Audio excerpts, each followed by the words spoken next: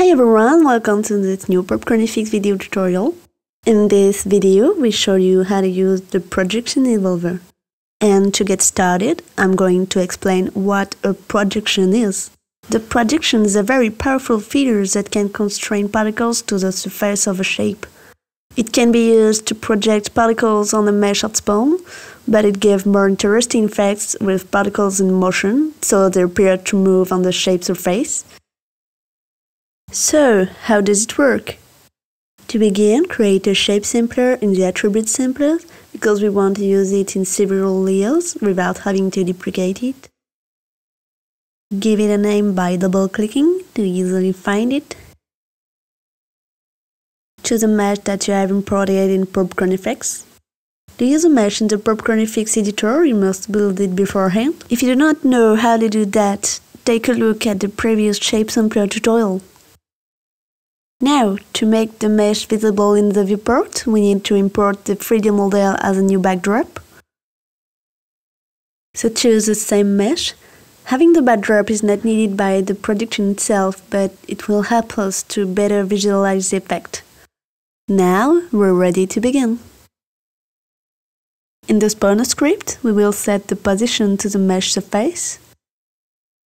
Here, we just pick a random point on the shape. In the physics evolver, clear the constant acceleration property. Initialize the velocity with a random vector.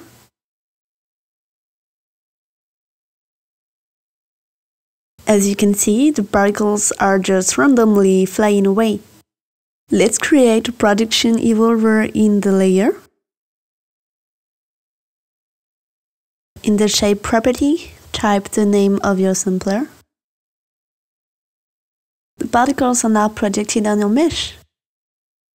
You can resize the mesh in the backdrop to make it a bit smaller than the mesh sampler for better visibility. Now we want the billboard to use the mesh normal. So in the renderer, change the billboard mode to planar aligned quad.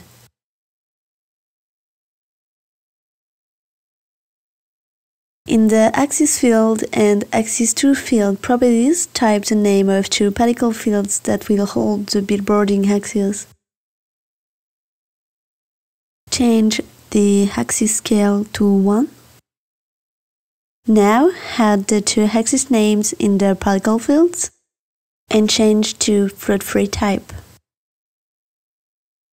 Create a script evolver in this evolver, we will change the up axis, y-axis of the billboard.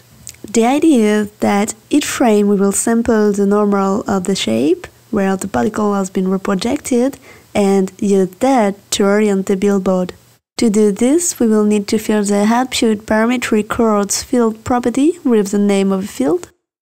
In this field, the evolver will store the parametric coords of the projected particles.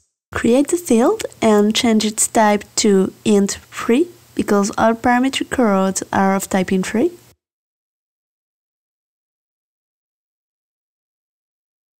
Select the script evolver.